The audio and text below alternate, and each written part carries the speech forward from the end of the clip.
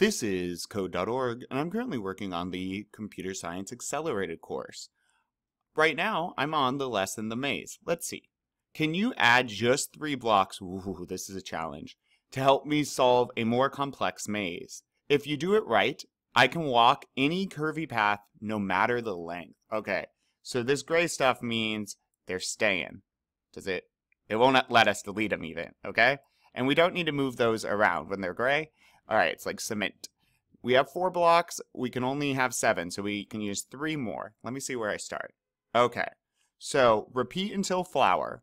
All right, so we're going to make our zombie do something until we get to the flower. I'm going to first add move forward, let's try. So if the path is ahead, do move forward.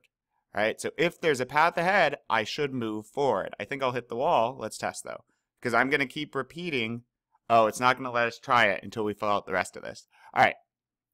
So I repeat till I get to the flower. If there's a path ahead, I move forward. Else, so if there is no path ahead, if I'm at here and there's no path, then else runs and do does not run. So if there is a path ahead, all I do is move forward. The computer doesn't look at else, hits the bottom, and loops back around and checks again to, if there's a path ahead. If there's not a path ahead, I skip, move forward, and try this code. I'll only do one or the other. All right, so let's say there's not a path ahead.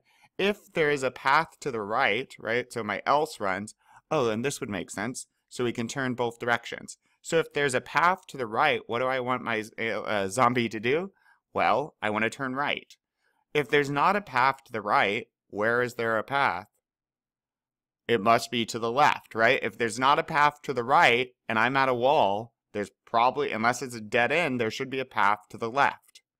And it looks like that will get us through this windy maze. Let's try.